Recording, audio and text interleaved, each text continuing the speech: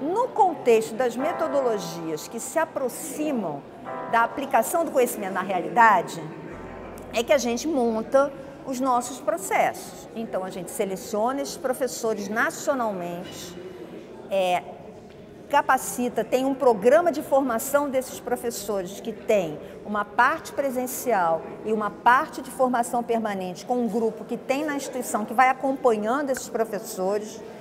E para, vamos dizer assim, também formar esses professores de maneira permanente, a gente instituiu, instituiu um outro ator nesse processo, que é o orientador de aprendizagem. Então, no processo da implementação dos, dos nossos cursos, eles têm a coordenação, eles têm os orientadores de aprendizagem, que no máximo cada orientador fica com 10 professores para poder acompanhar.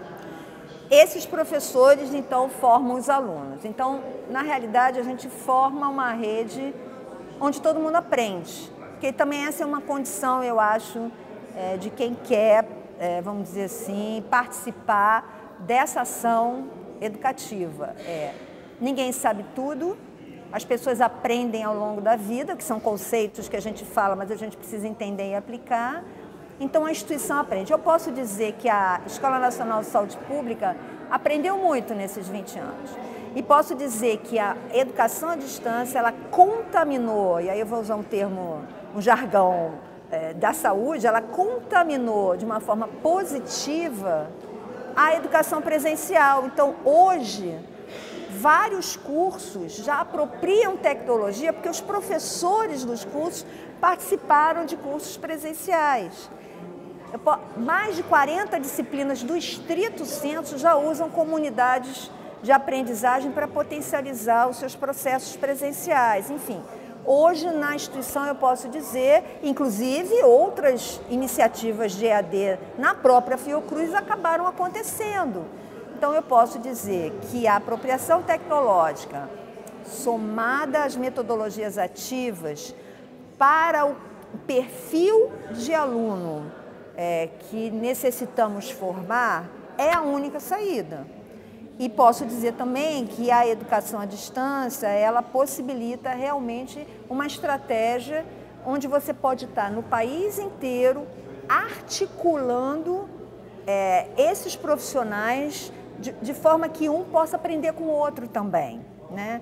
É, nos fóruns dos cursos, por exemplo, a gente tem muitos gestores muitos é, secretários de saúde e que também trocam entre si possibilidades, alternativas, soluções. Então, você propicia redes também.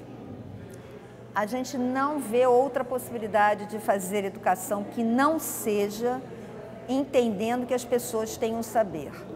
Então, nesse sentido, as metodologias ativas elas estão, vamos dizer assim, é, diretamente relacionadas com esse fim.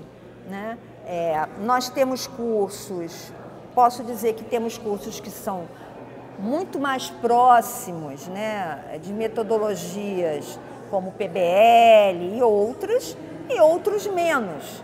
Mas, de uma forma geral, a compreensão que temos é que essas metodologias, elas, elas contribuem para que o aluno, o, o, quem está fazendo o curso, se, se, sinta pertencimento naquilo é, que está acontecendo. E aí vamos perseguir todos esses ideais, né? Aprendizagem significativa, né? Enfim.